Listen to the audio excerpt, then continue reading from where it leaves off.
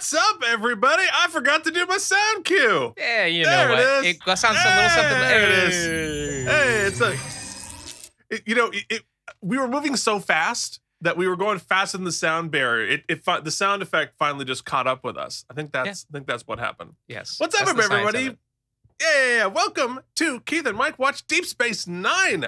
Uh, it is a an early Saturday morning, so my brain will be waking up as we go. Despite the fact I've been up for two hours, why am I so sleepy? I can't tell But you. uh, nonetheless, we are talking today about Deep Space Nine, Season 1, Episode 17, Dramatis Personae! So it is, uh, it's Much like gonna that. be, Much like that. it, it is much like that. It is gonna be something, uh, but we're excited to talk about it.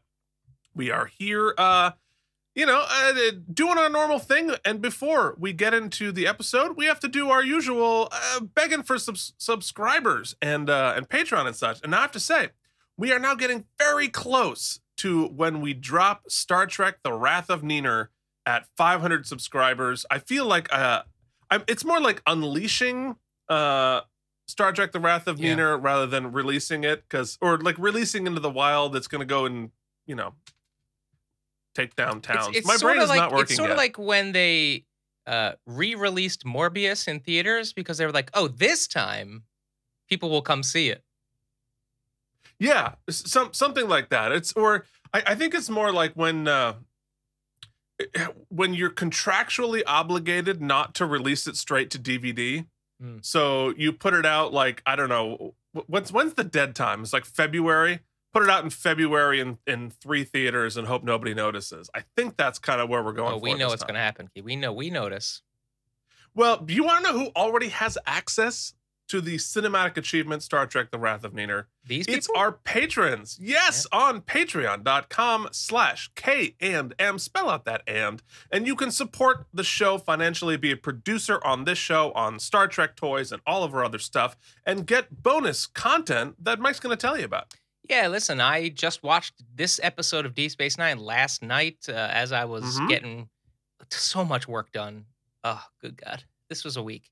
And, uh, but you guys were along for the ride, including Brian Kaufman, Casey Clark, Cloud Lover 69, Jorge Navoa, The Mysterious Anne, Alan Zimmerman, CRM Productions, Charles Charles Babbage. They also get first looks at some special content we drop on the here and now. That's going to get more consistent, I promise. The summertime, we're going to figure, we're going to do a strategic meeting and figure some stuff out for the fall. Uh, But you Mm. guys are getting in at the ground level. This is like PBS, um, and and at some point, the Patreon feed of this uh, very podcast will not have this ad portion because you've already paid for it, but. Uh, we haven't figured that out yet. So we appreciate you No. guys just being producers of the show. It means a lot. It helps us a lot, believe it or not uh, even at this early phase. So uh, thanks And- again. Check us out. Indeed. And and and like PBS, you're going to have guys talking too close to the microphone. But unlike PBS, you will not get a tote bag. So, My favorite uh, thing about PBS now in the here and now is that they still think that like for two hundred dollars, you're not just supporting the channel. They think you want seventeen CDs and eighteen DVDs of a Michael Bublé concert. And I'm like, ah, I'm good. Uh, Well, also they're still sending out CDs and DVDs, but hey, you know, there are people out there who want them. Like, you know, your mom probably like, yes, send me that DVD of Michael Bublé. Mike, yeah, yeah. I mean, don't. I I'm, mean- no, no shade on Bublé. Love Bublé. I'm just saying I don't want 18 DVDs of one concert. That doesn't make a lot of sense to me. I don't think it's 18 DVDs of the same concert, like 18 What, what's copies. on the other DVDs?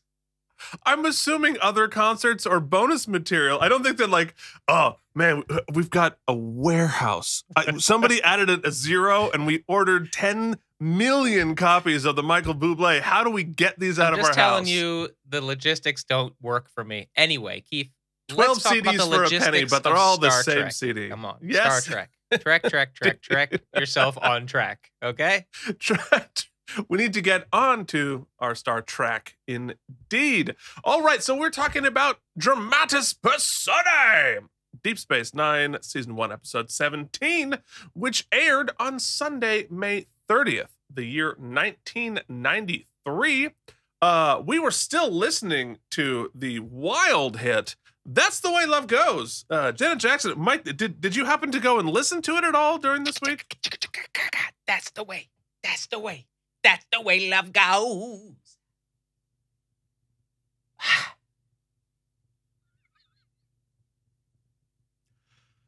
Okay, and the top movie. I feel embarrassed. you should. the top movie uh, was uh, speaking of hanging by our fingertips to our dignity. The top movie was Cliffhanger. Cliffhanger. Yes, the lone's finest. Which took in $20 million this week. The New York Times headline, interestingly, was Eastward Ho, the great move reverses, as uh, I guess demographically we were moving back east.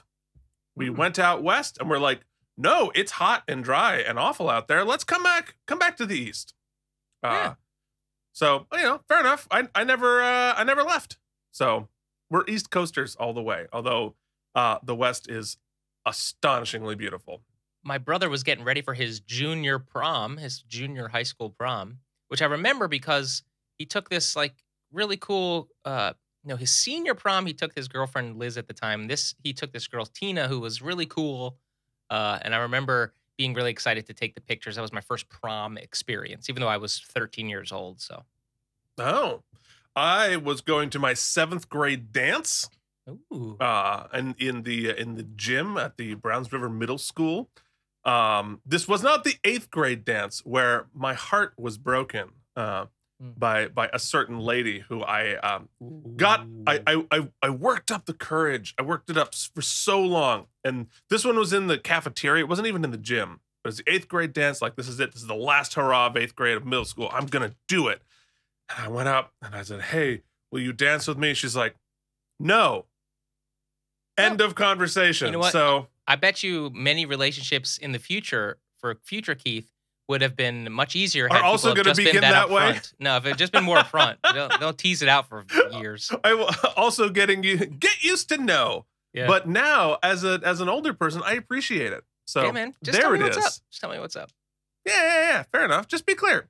So, uh, this episode was directed by Cliff Bole, who uh, this is the first time on Deep Space Nine, but is a veteran Star Trek director. He did seven episodes of Deep Space Nine, 25 episodes of The Next Generation, and 10 episodes of Star Trek Voyager. So, uh, he's done a lot of Trek. This episode was written by Joe Menosky with a story editor teleplay and or he he was the story editor teleplay uh writer and and uh wrote the story on 33 episodes of the next generation and four episodes of deep space nine 36 episodes of voyager and then rising like a phoenix uh doing one episode of disco Okay. so, uh, Joe Menosky, another very, uh, very experienced Star Trek folks working on this episode. And uh, you think, hey, we let's talk about the episode, but no, we have my favorite segment about. Now, Keith, waste your time with trivial trivia. Okay, so this is the most trivial of trivia this week, uh, which is my favorite. The star date of this episode actually places the events in this episode before that of The Forsaken.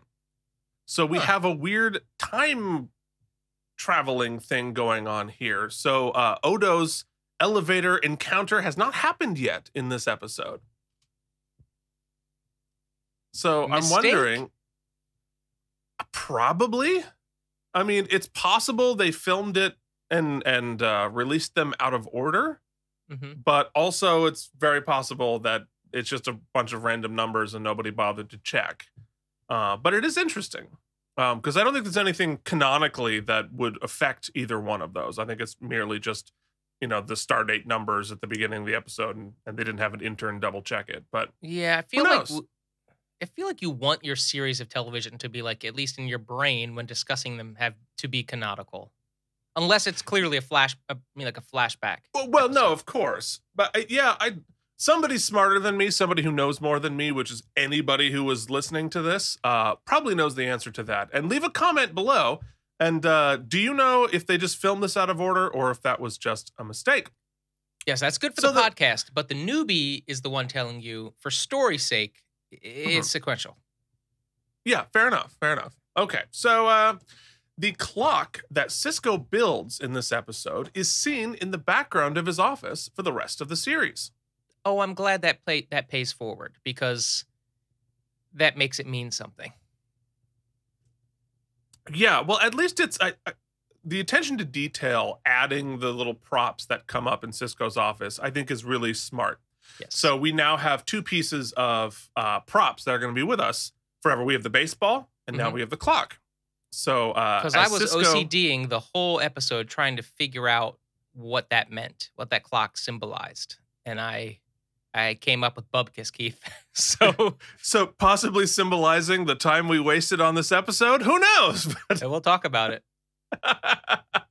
All right. So uh, in the airlock scene, at the very end, you can see Sisko's com badge, despite them having taken it off earlier. Oh, This is an actual mistake because they had to reshoot the scene and uh, completely forgot about it.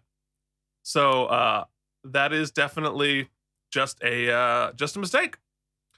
And uh, this last one I think is particularly fun and interesting, although it probably wasn't fun for Nana Visitor. So during the filming of this episode, Nana Visitor slipped on a wet stairway and injured her back. oh, I'm sorry. Uh, she, of course, being a trooper and playing Kira, wanted to finish her scenes. Um, but uh, Rick Berman, the producer, made her go to the hospital. Um, so she, she she's like a wrestler, man. She wants to finish the match. She's not going home early. Uh, but when she got to the hospital, still in makeup, the doctors ignored her back and were trying to fix her horribly broken nose. oh no. But it because it's it's Bajoran, it was makeup. Yeah, yeah. Oh, that's Yeah. funny. Sorry, I'm trying to get the screenshots ready. Mm, I couldn't. I didn't. It wasn't a good sell job by me. Welcome to the show, Mike. Yeah, thanks. It's very early for us.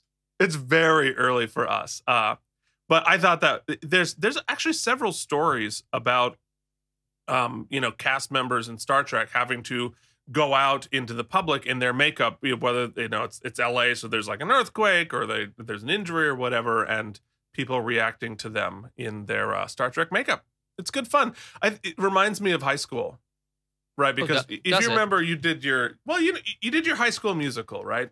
I did And, one. uh, I did one, but I'll I'll count it. You only did one. I did right, one my senior that. year. Yep. Yeah. Uh, but one of the one of the the tropes of, of high school or community theater is you, you freeze. There Yeah, you go. Sorry, I don't know why that. Um, happened. But one of the one of the things about it is that a you wear way too much makeup, Yes. and in in professional theater, I don't think I've worn non like storytelling makeup, like I need a wound or something, in like forever. Uh, but in community theater in high school, they just cake that on. Uh, You That's to- because you you haven't done many shows as an old guy, Keith. Because you start to d- at least pull out the uh, the under eye cover up, the concealer. it's it, it becomes a staple of your bag. It used to be for me, like you said, because I'm kind of a, uh, of Mediterranean skin. I would just I'd throw in some lip balm. I'd get some like uh, cherry chapstick. That would be my uh, freaking Mhm. professional makeup kit. And then things have changed lately. Some just for men and some under eye concealer are part of my gig bag. That is because you have not embraced your oldness. The characters I play now are like, you know, old and broken and messed up in some fashion. Or they're going through it usually. Okay, yeah. so uh it's fine. This this can live. Anyway, uh so of course it's community theater, it's high school, you're just like putting on makeup because it's like it feels cool and specials you're putting on way too much and you never take it off because of course you're going you, you have to go to to Hojo's or Applebee's or uh, for me it was Friendlies after the show in Ben- full we, were, makeup. we were big Bennigan's people. Bennigan's, yeah. Uh, so that I mean that was always like what you did is you you had to go out to dinner with all of your makeup, and that was part of like, oh, are you in a show? Yes, I am. I'm doing Grease at my high school production. I'm playing Chubby Kenickie. and that was that was you know that's a big part. Why is Kenickie wearing uh, under eye makeup? Uh, don't worry about it. It's theater. This is what we do in the theater. This is how we create our dramatis personae. Ken Icky? Do you mean Ten Cookie? No. You know, you know what it was? Uh, it wasn't Ken or Ten Cookie. It was No Nookie. this is terrible. Let's Summer- move forward. No lovin'? Okay, let's Summer, no lovin'. Summer, definitely no lovin'. tell me about So it. let- Pudge. Okay, that's terrible. let's just move forward. Tell me about it, turtleneck, for no reason.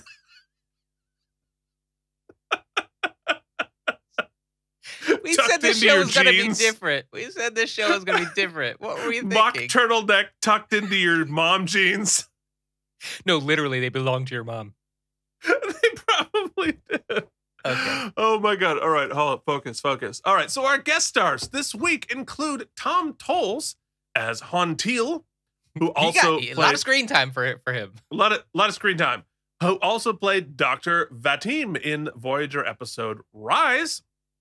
You have Stephen Parr as the Valerian captain, Randy Pflug as the guard, and Jeff Pruitt as the uh, ensign, the Bajoran ensign, who did frequent stunt work on Trek, including in Battle Lines. So, has already uh, gone from a stunt performer, and they gave him a line in this episode, which is uh, which is great. So, uh, let's move forward and hop into our screening room with everybody's favorite bumper, Michael. Michael, there we go.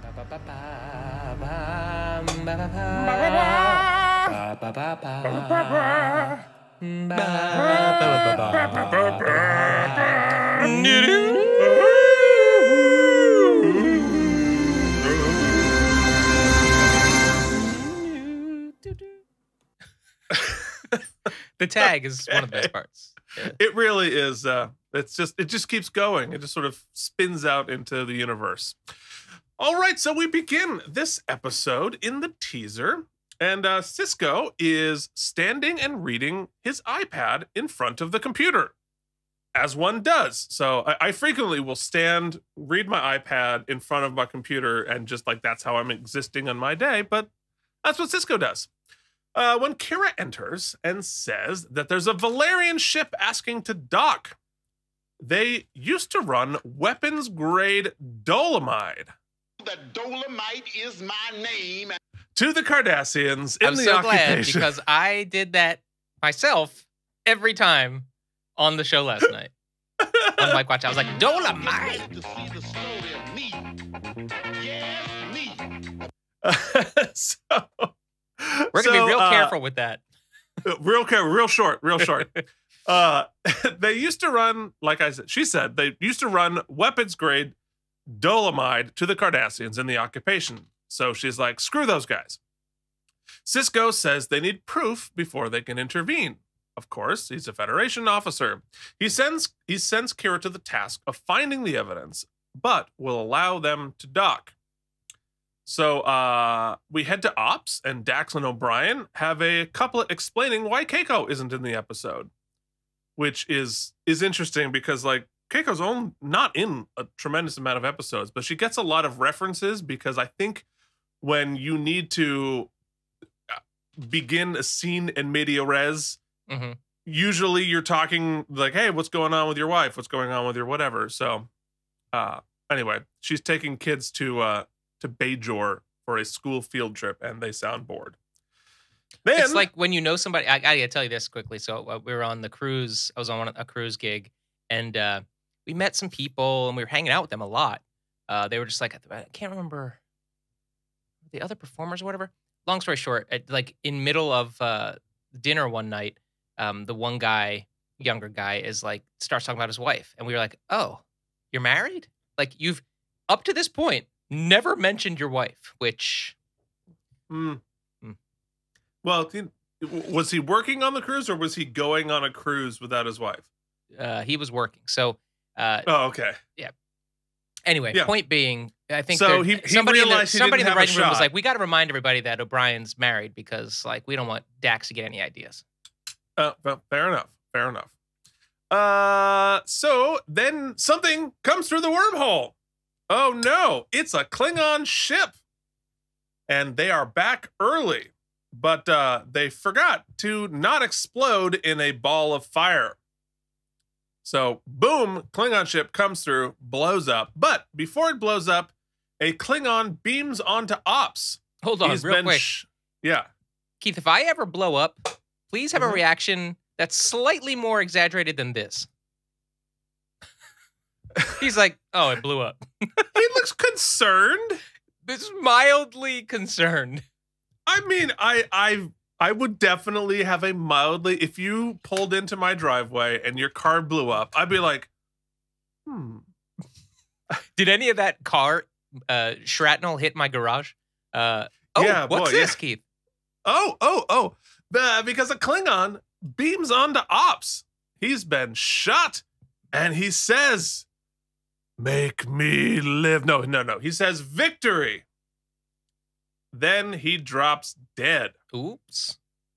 And that is our teaser. Now, clearly this time, so uh, they did. A, they made a lot of effort this time because his beamer didn't quite work, so they did a rebeam and like grabbed Mhm. him, right? And so now that a Klingon dramatically dies, Ben's going to have a bigger reaction than he did to the the ship blowing up, right? Mhm. Clearly. Yeah, yeah. It- well, well, yeah. Just watch a, a man die in front of him. Ben, what say you? Oh wait, let's get the big line. That's just, this guy's one line, so let's relive it. Victory. Cue Ben. Hmm. Hmm. Ben's face. Every face Ben makes Oh Uh, this episode makes me filled with glee. That is the face that you make when you go to your Holiday Inn snack bar and they're like, they're out of bacon. If that is a specific reference, Keith, I was going to say it's more like a someone's going to have to clean this shit up.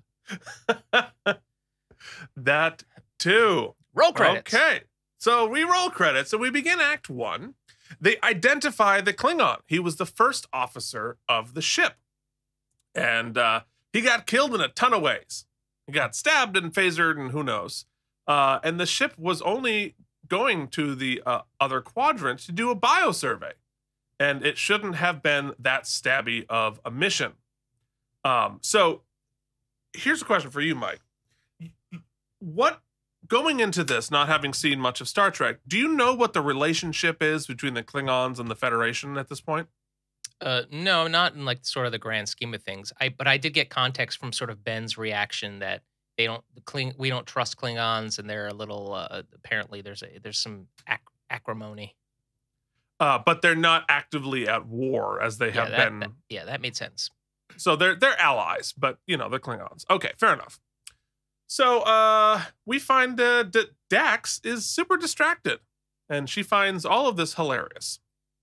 Then the uh, Valerian ship shows up, and Kira tries to delay them, and Sisko tells her once again that she has to let them dock. And she pissed. She's pissed. She's pissed. Well, you know, they uh, do. You, do you know what? You know what they've been selling, Mike? The Dolomite is my name. Yeah, they've been selling uh, selling dolomite. So we that's not They good. say it a lot this episode too. It's like somebody was like, "That sounds great. Let's just say it a lot." Although if you check the uh, closed captions, uh, this will not stop me from rolling that a bunch of times more. Uh, but the, it's actually IDE. dolamide, IDE, dolamide. Uh, but yeah, no, it's hard not to. Uh, it's- hard to get that out of your head. So uh, in Quarks, Odo and Quark, or uh, Quark complains to Odo about the Klingons. They're very hard on the Holosuites because their sex is energetic, let's say. Uh, but uh, they do pay good money for what they do to the uh, Holosuites. Uh, they're also bragging a lot about the glory of their bio survey mission. So we're getting a little backstory. So the clearly the Klingon ship docked at Deep Space Nine before, and uh, they were very excited about their uh, bio survey mission, which is odd because it it seems like they went out, they went through the wormhole to do their biosurvey mission. Then they came back to Deep Space Nine to brag about it, and then they went back to the wormhole. and and had all of this. It's very confusing. But uh, Odo, of course, wants to know, you know, more about what's going on. Quark wants to trade him something for the info, and Odo just extorts him by threatening to take the maintenance crew off of repairing the Holosuite. Uh, you know, it's it's if I were Quark, Odo like extorts him like three times an episode. I feel like I would be uh, I'd be a little salty about that. I get it. Uh, but Quark says the Klingons thought they were going to bring back some sort of weapon that will make them wildly powerful in the universe. Uh, so uh, They, did you have any, talks too loud at Quarks. er- everybody? Yeah, everybody's. Well, I mean, do you have to look at those ears, man? Yeah, that's a good point. Well said. I would Ain't just imagine for they've sex got touching. No. They're, they're not just ear balls; they're ear ears. So Put up, put wrap it, trademark it. That's ours. They're not just ear balls. They're also ear ears. Get your t-shirts at patreon.com slash KN. Uh, so then Odo freaks out. Uh, then he passes out. His face does a weird flip-floppy thing. There it is. Uh, that's a sort of a cool effect. Yeah, it's really cool. If you've ever played, uh, for my gamers out there, if you've ever played The Last of Us on PlayStation, he looks like a, he absolutely looks like a clicker. That's what a clicker looks like. Is that that that's the the zombie game, right? Oh, Is- that is is. that- yes, is that's that, that the cooperative one where you can play like split, split screen? No, No. th- it is. Uh, the pejorative would be it's a zombie game. But some would also say it's one of the two greatest games ever made of all time. So Really? narrative adventures, yes. Oh, I, I haven't played it. Maybe I'll play it. oh sometime. yeah, you need to play the first one. They're re. Yes, you don't have a PlayStation, Huh? so you, you can't. I don't. I'm an Xbox guy. You might want to watch just. It's it's the game is great. I'm not really into like survival horror particularly, but Mhm. the story, the narrative is one of the best novels I've ever read. Both both versions, both games. So it might be even worth just like I'll put it on in the background, just like watch a stream of it, the game of, of a playthrough. I'm, I'm too old to watch other people play video games. No, Keith. That's, I got it out of my system in the basement watching my older brother play the like original first Tomb Raider on the first PlayStation. Mhm. for yeah, hours watching and hours play. and I'm sure you weren't just staring at the polygons. All right, let's move. So Clark, Clark uh, Odo's head blows up. Odo's head blows up and Quark runs for help I- in in like a little beat, which I think is cool. You Dr. see Bashir. That that Quark is genuinely concerned for his BFF. Uh, Yeah, it's cool. Which is yeah, we, we we see a little break in the uh, in the tete-a-tete, and we see that Quark is genuinely concerned.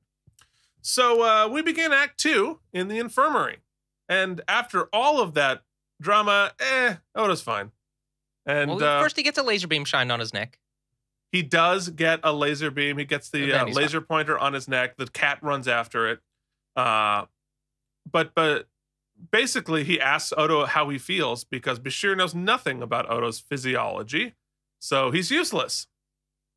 Uh, Bashir then asks Odo if he's concerned about the Valerian situation. He hints that there's going to be trouble between Sisko and Kira, and he's looking very shifty. Mm-hmm. Uh, then uh, Kira goes to Sisko's office, and he's acting all weird and paranoid too. And they uh, they argue about what to do about the Valerians, and Sisko is all scary.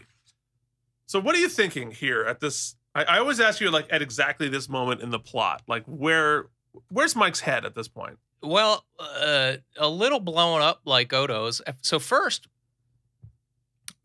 I started like doing like a spec script, and I'm like, okay, this is cool. Clearly, when the guy beamed on, maybe he brought something with him, or they were looking for a weapon. So maybe that weapon, like maybe they secretly beamed him in to like get the weapon to use the weapon Mhm. and Odo is now like because Odo was a little strange in his when he came to too. He- At this point in the episode, you couldn't tell if Bashir was just being really weird or if Bashir was testing Odo to see if because I thought maybe they'd give since Julian's kind of they were kind of last episode we gave him more agency and a little he's a little more uh, hero Julian.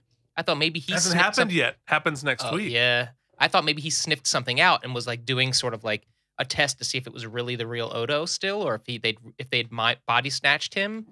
That's where Uh-huh. my brain was. This scene then threw my theory, the direct next scene threw my theory out the window, and I'm like, okay, they're both being weird. Who's I I- I will say that the writing at least obfuscates the already obfuscated plot a little bit successfully here because I'm doing the I'm trying to do the detective work as to who's affected, right? Like who is the Hmm. one uh, but you know, and then it turns out it's it's everybody. But uh okay, let's let's move forward. Yeah. So uh, on the runabout, O'Brien and Dax are surveying the wreckage.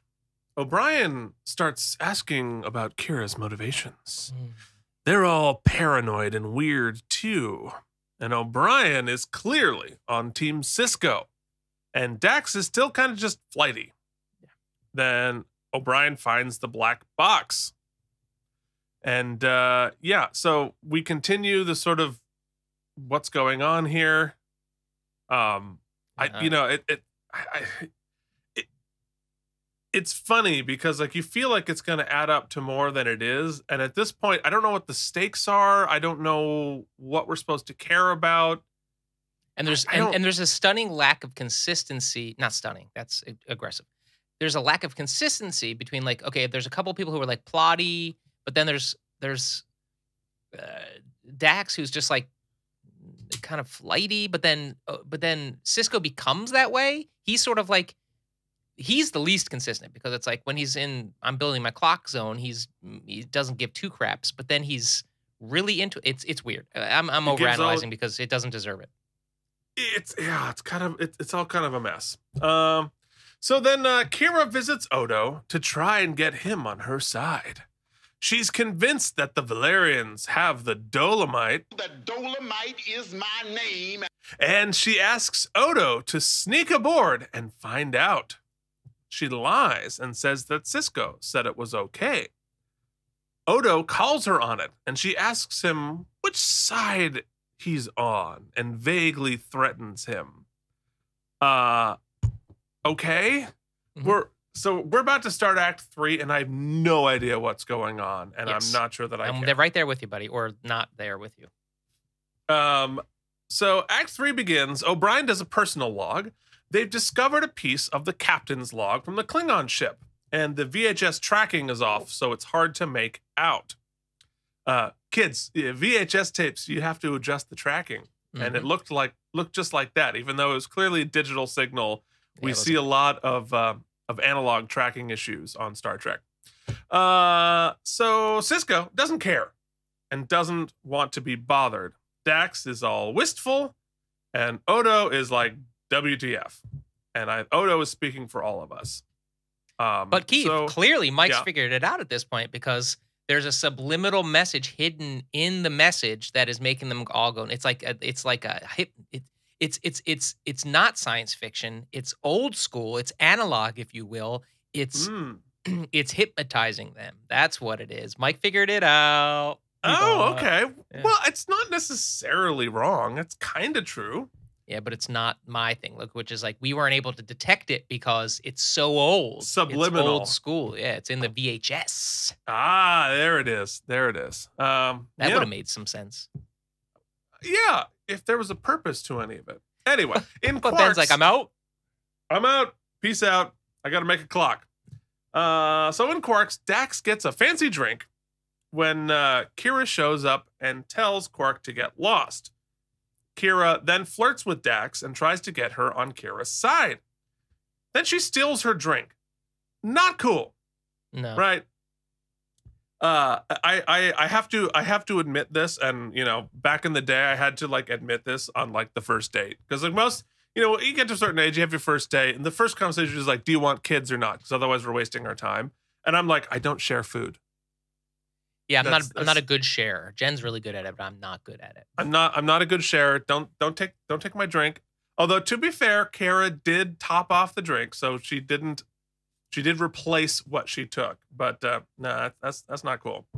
Uh, but meanwhile, Dax is lost in nostalgia. She can't focus, and uh, Kira says she's getting rid of Sisko one way or the other. And then we find out that Quark has been, been listening, of course, and Kira attacks him, of course. So uh, Does she Superman punch him like Eleanor in the practice? She sure does. uh, deep cut for the two Yeah. people who cross over for both of our shows. but uh, yeah, so Quark arrives. I and mean, it's the same beat, Keith. It is the big- exact same neck beat. brace. Yeah.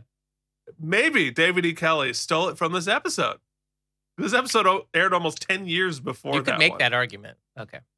It's it's possible. It's a pretty silly Star Trek neck brace.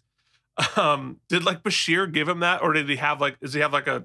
So you can suitcase full of basically bring people from the dead with a little red laser, but if you get punched too hard, you got to still wear that 1993 neck brace. No, but I think that that was.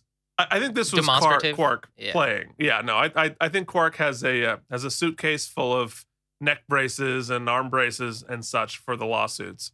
Um, but uh, it goes to Quark to uh, file challenge uh, charges, and he tells him that Kira has been plotting.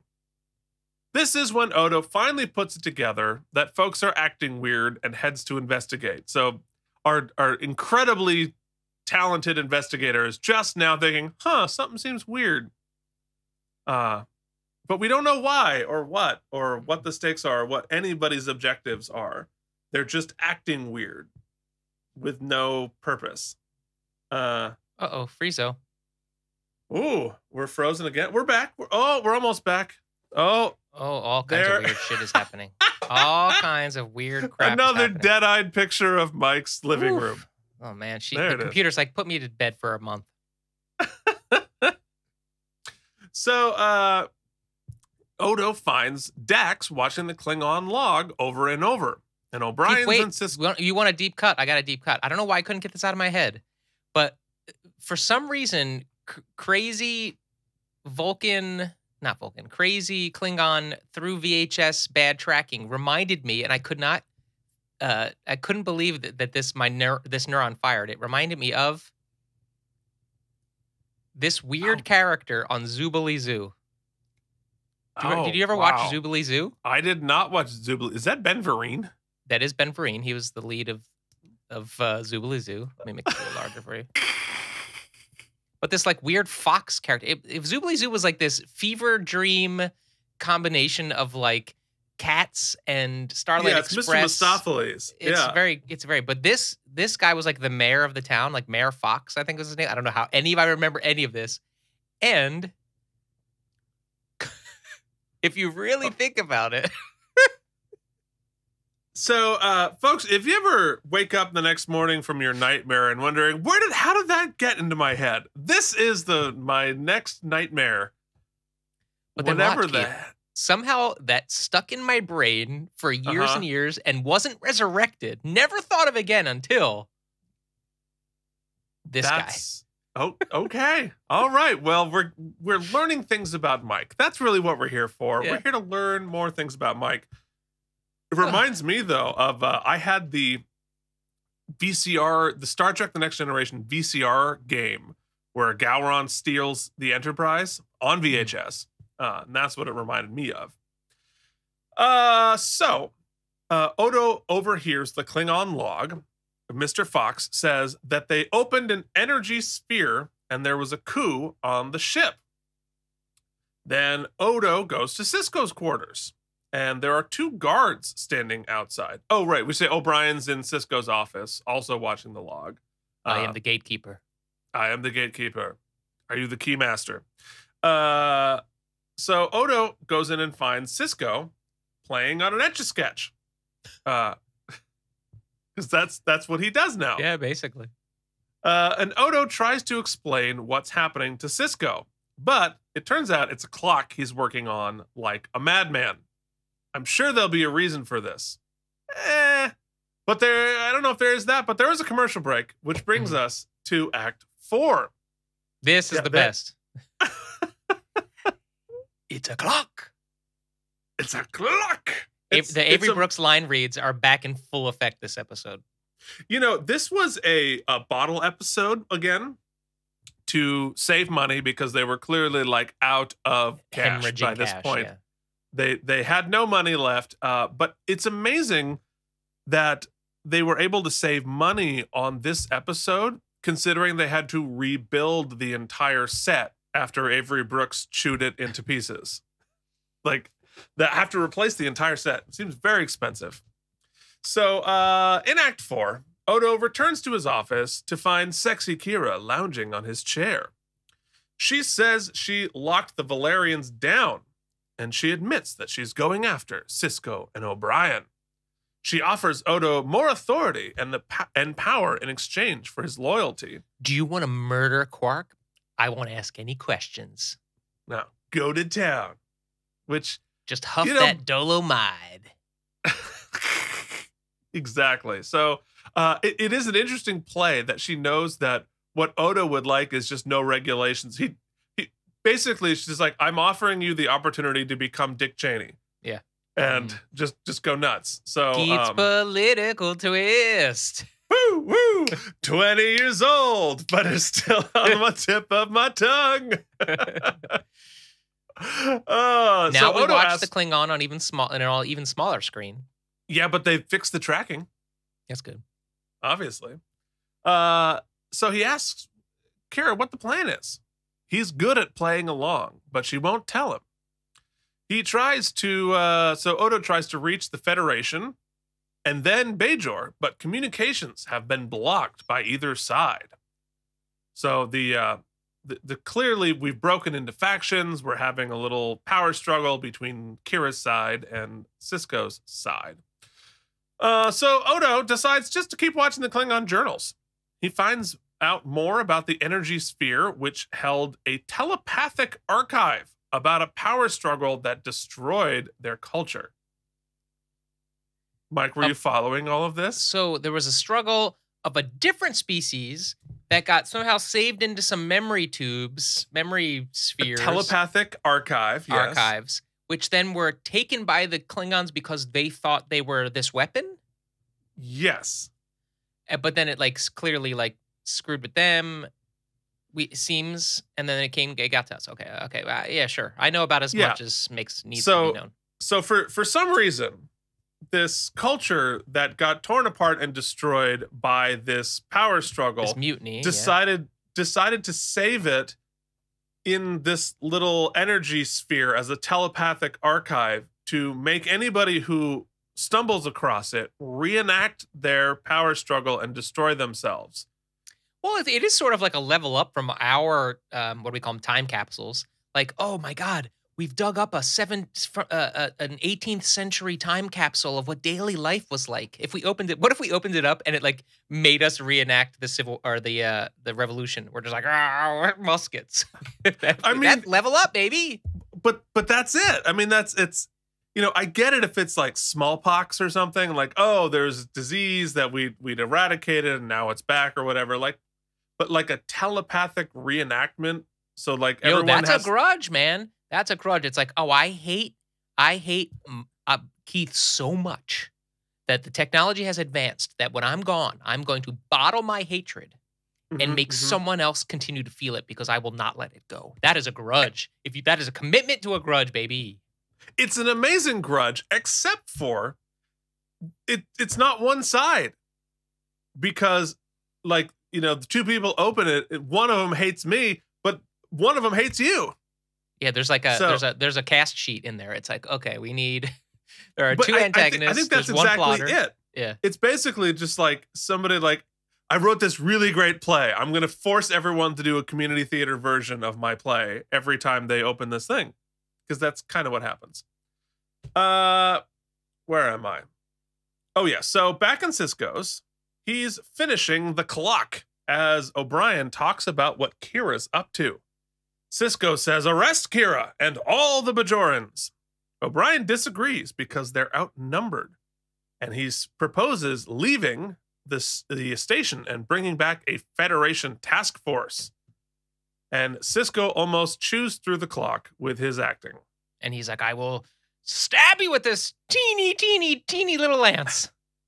Yes, if I if you hold still while I stab you for six hours, you'll definitely hurt. But that's not the last time you're going to see a teeny little needle. There's No. one more coming. Hey, so Odo arrives at the infirmary, and uh, Bashir is conspiring with a Bajoran officer, uh, which is the uh, the the the stunt guy we were talking about before. So uh, Odo asks about the dead Klingon. There was a telepathic Klingon brain technobabble something something that explains why the Klingons reenacted the power struggle on board.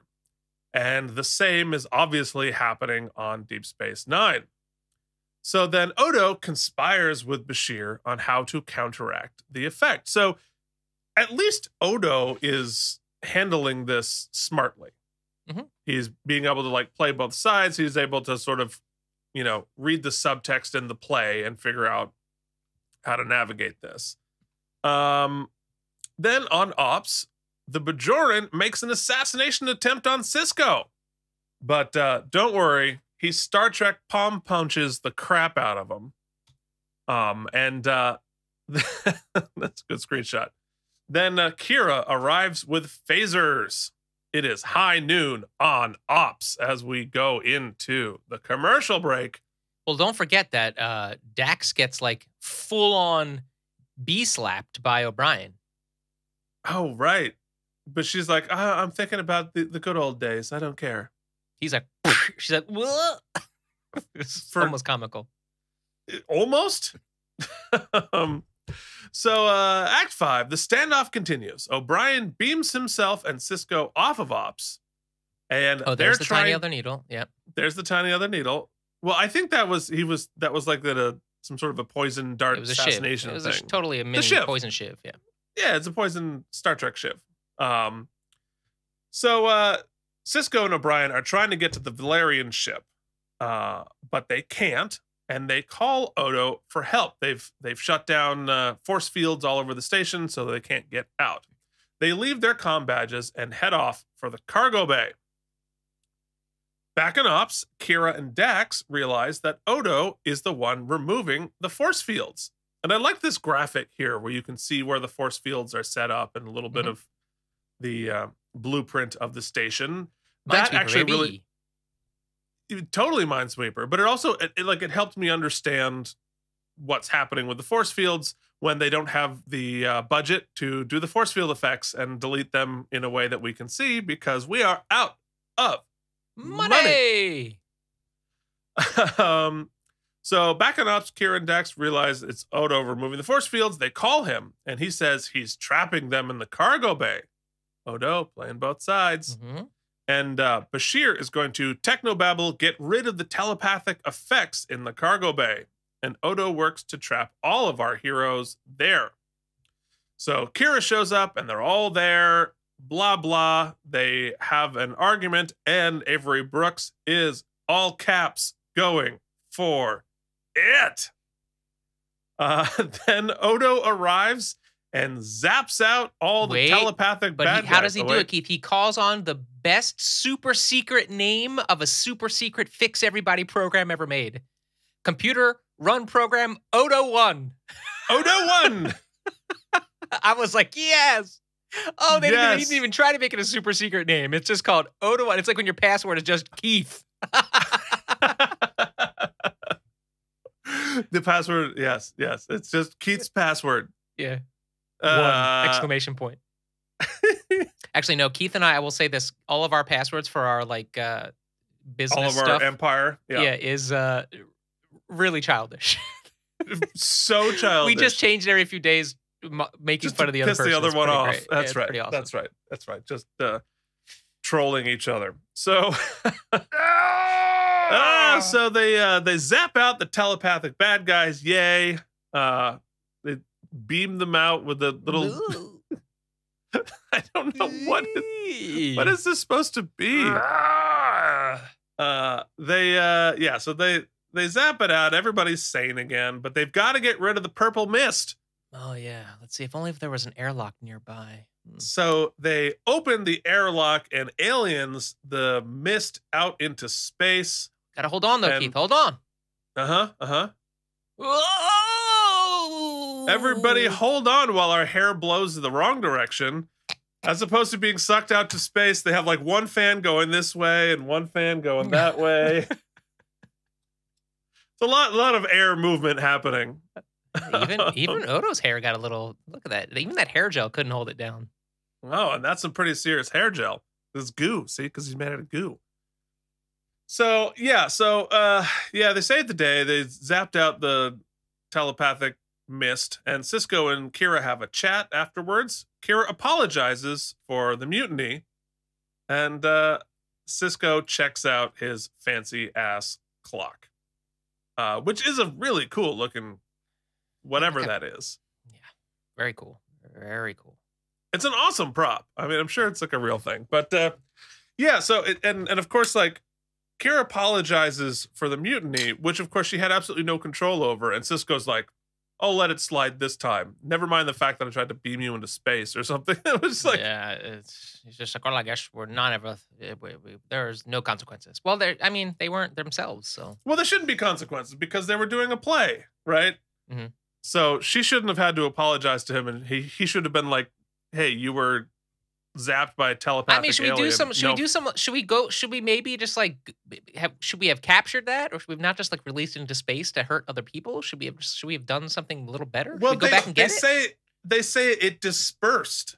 oh, it's done. It's good. Okay, it's, It's just like uh, oh, without I its energy guess tube, it can't. Okay, they just threw it into the ocean. no Um, resolution to the Dolamide, right? We're just gonna let that. That's just gonna let that slide too. I, it- I, you know what? Now it's time for Mike and Deglio's Star Trek vocabulary quiz. Okay, your first word is Mike. What is a telepathic field? So Keith, did you ever see the movie The Ring? I love the ring. Yeah, so you know how they were able to like beam some sort of demon horror into a VHS tape? Uh huh. Well, that's like this, but like instead of a VHS tape, it's like a Klingon message. Uh, okay. Yeah. Yeah. Sorta. And uh, your next question, we're gonna have to change the music for this. Uh, Mike, what is ready to feel what the is meat. dolamide?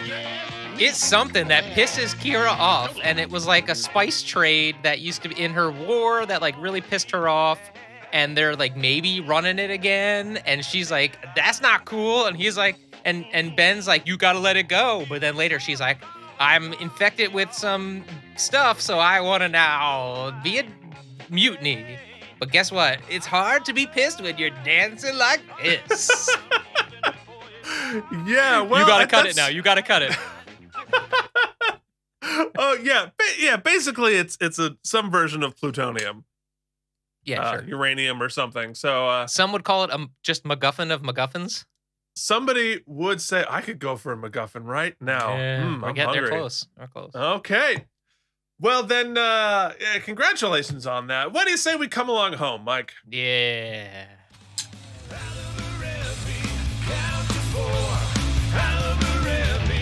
Then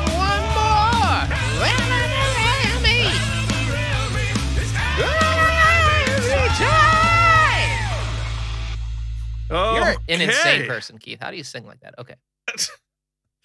Oh, my poor neighbors. It's uh, cause they my neighbors never get to hear the arrangements or the other uh harmonies. It's just one random dude scrouting in his basement. oh, thank God I don't Uh. live in, in an apartment anymore.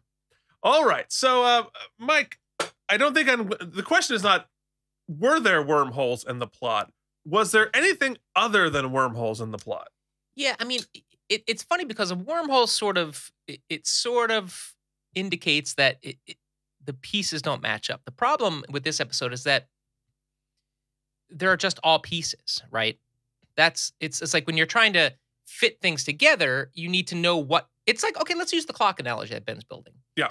Perfect. It's hard to build a crazy clock if you don't know what the clock's supposed. If there are a no instructions, or b there's no picture that you can recreate, and that's the problem with this episode for me. And I'm gonna just and this is we're kind of we're kind of uh, combining this with the maybe we should say what we liked first.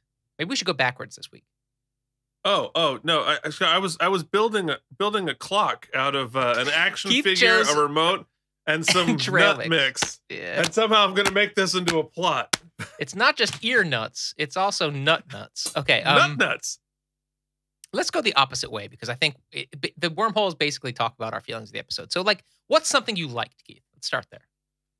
Um, I liked Odo's being, you know, it- he he figured it out really slowly, but once he did, his being able to manipulate each of these disparate characters, realizing, okay, Kira's on this side, I know how to manipulate her. Sisko's on this side, I know what he wants.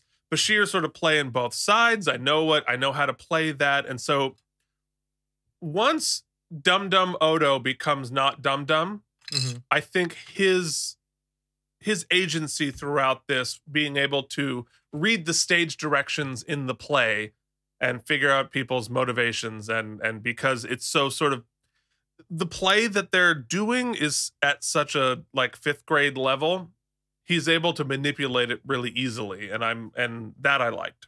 Yeah, that's cool. Actually, it's really good. My pick is a little more esoteric, if you will. Mm. I like that the cast was willing to trust, for better for worse, and just go for it. They were like, "There's no model for these characters. It just go for it." And they were Yeah. like, "I guess they'll make it a. pl- They'll make the show make sense. Let's go." Like Dax. What do you want me to do? Uh, okay. Is there a reason? Like, what am I thinking about? Like, what are the memories? What what is what is distracting me? Eh, don't, don't worry about it. Just just be What is the purpose of this Yeah. in the plot? Yeah. Like- but but sh- she was like, all right, cool. And Avery Brooks was just like, so you want me to chew down everything?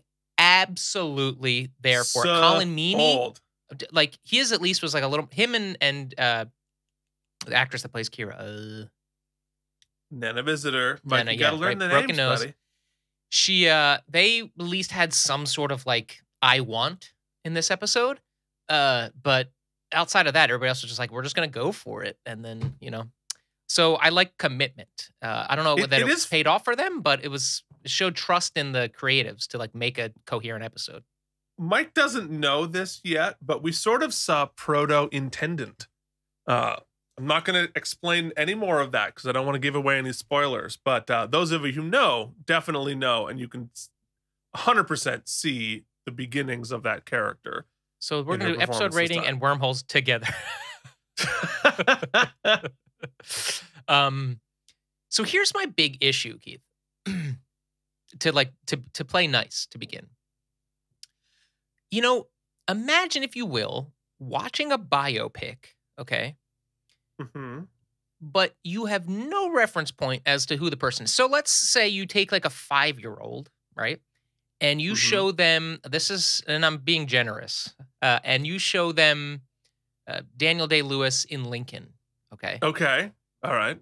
but they have not learned who Abraham Lincoln is yet. So, whilst perhaps that five year old can appreciate the acting dedication that Daniel Day Lewis pr- put forth, having no reference point for who Lincoln was or is, they can't even recognize that they look like that he, oh, he looks so much like him, let alone Oh, yeah. what a great performance. And so the big thing here is there might it sounds like there's sort of an interesting swashbuckling uh original tale. Like I don't know the play that they're reenacting. I never saw Pirates of Penzance. So them doing it I'm losing 80% of the magic, right?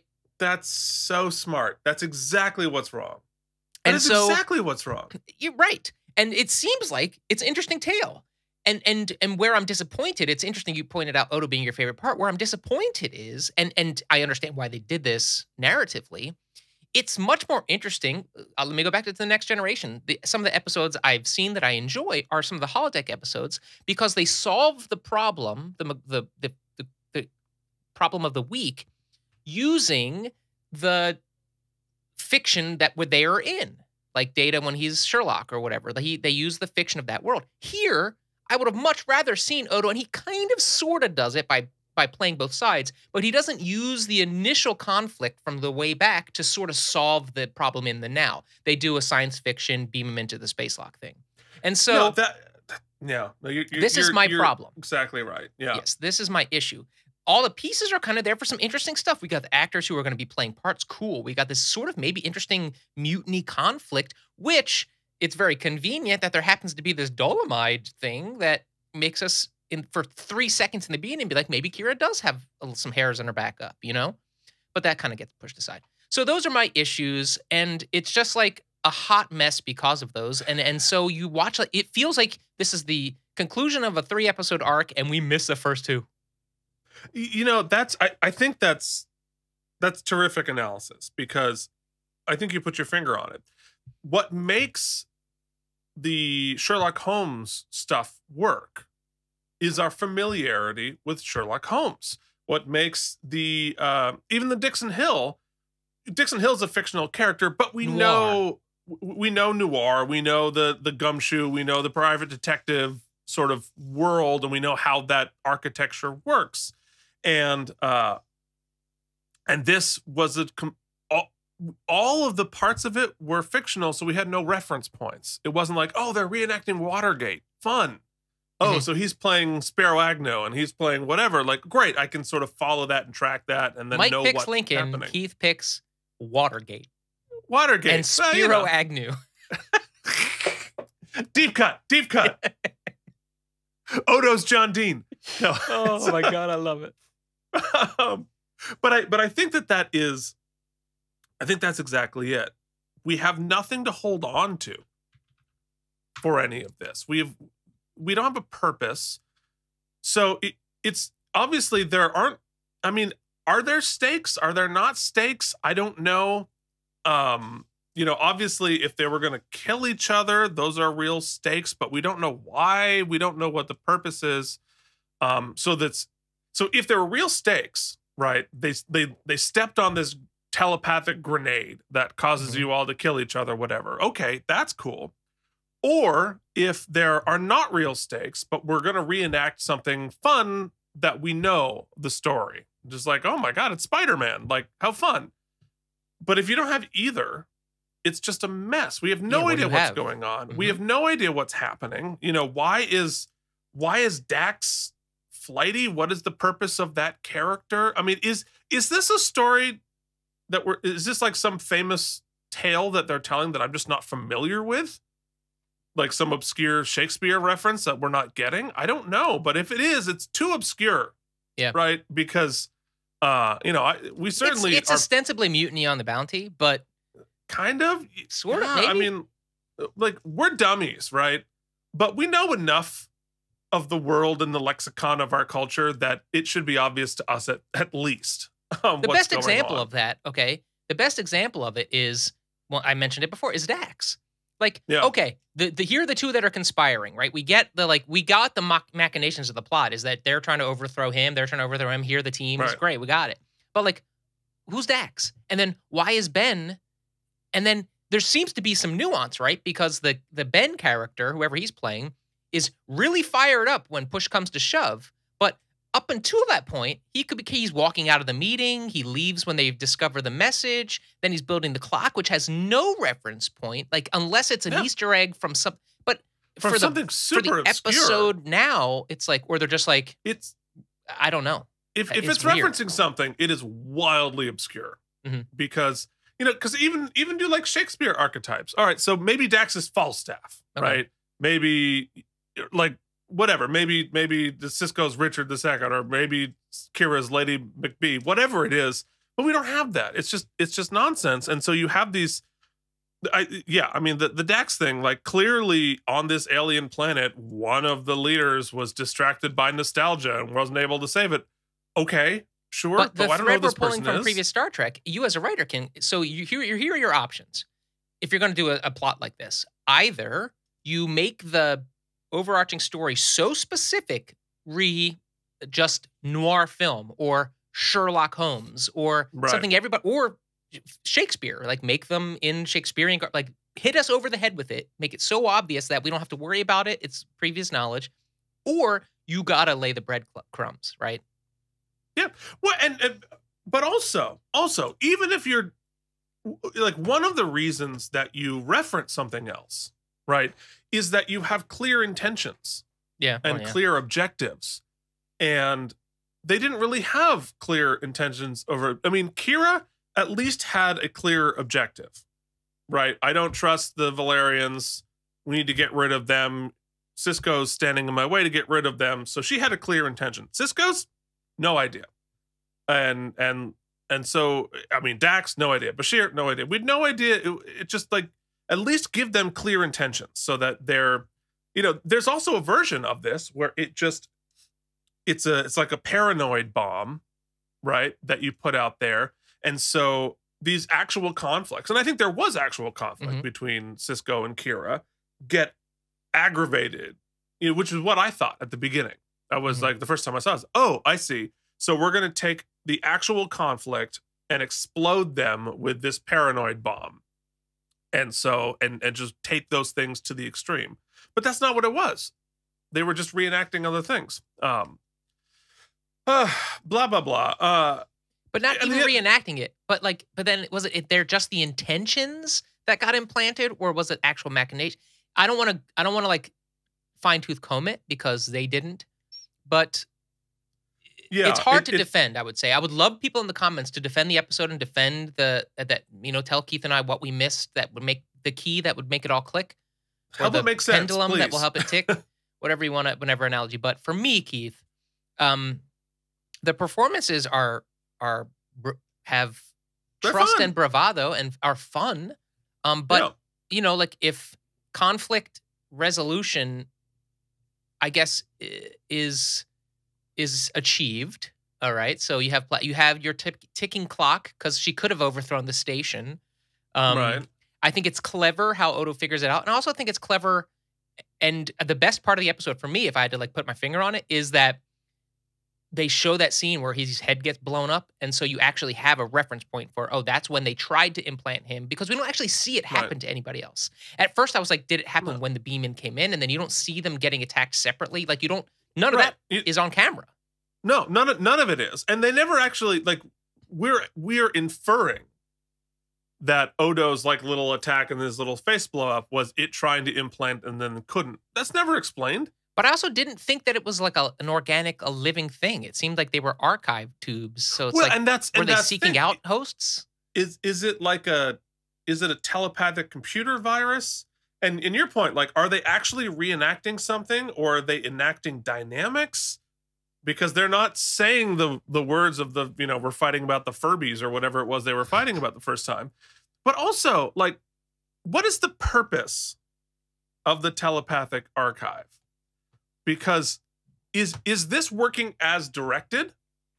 Or was this a malfunction because you know a species came across that the telepathy doesn't work quite right so there you know there there are star trek episodes where people come across archives and they re-experience something from a previous culture and to teach them something but this like the outcome of this is this is like a like a crazy it is a crazy weapon Mhm. because if if left unchecked this could destroy civilizations But like, did those people present it as a weapon, or the Klingons just thought heard of it as a weapon? I don't.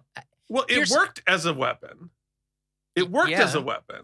But, But, then, it, but not a great weapon. Like it, it- most weapons are powerful in their immediacy. This is one where you're like, okay, it's like you shoot the gun, but then you got to wait like a couple months for it to play out. well, it's like a virus, Yeah, right? okay. It's, it's like a biological, biological weapon. weapon. All right, let me let me put this way. I mean, here's my last Yeah. point. Let me put a fine Okay. a point on it. The worst episodes of this season thus far, and I imagine in the future, the the trope I've noticed, and I'm going to use "Come Along Home" as my example. After some BS happens, right? After some craziness happens, there's Mhm, always that mhm. scene at the end where we have the moment where we could what do we learn this week? Right? Did Right. quark learn that he shouldn't he shouldn't gamble with people's lives or that he's that gaming is different blah blah blah blah blah? No no no no. Eh, we're not going to even mention it. We're just going to say oh quark. That's how we ended that episode. Right, this episode- right, right. well okay all this happened. Maybe we should like maybe we got to be care- more careful about who we beam on. Maybe we got to be i don't even know how you would make this what we learn from this but that's what we could have had in that last scene with with ben and kira Or, but or, instead or learning to trust each other and our Yeah, intentions or uh, something. right. You know, like work out our conflicts. sure yeah but instead it's just like she's like so that was effed up and ben's like don't worry about it who cares i got tick tick tick we got a clock We got a And- clock out of it. And so that so now we didn't even like they didn't even attempt to be like, hey, here's the here's the the morality story. So listen, the end of the day, it doesn't even meet the threshold for like a coherent episode of television. And so I say No. 42 self-sealing stem bolts. Yeah, no, and, and that's it, it's it, you know, it, it suffers from everything that you just said there. It also suffers from what what I'm always complaining about. It's not a Deep Space Nine episode. Like this, you could throw this on any any mm-hmm. episode of any. None of the characters have anything Also, to do with the character. Also, when you juxtapose it with last week, I mean, good lord, it's Yeah. it's just a mess. Um, and and I think the clock symbolizes the time we've wasted watching this episode. Um, you know, and I I get it from the standpoint of like, oh, hey, wouldn't it be fun to like give all of our actors a chance to like play evil versions and paranoid and like play out this this fun thing?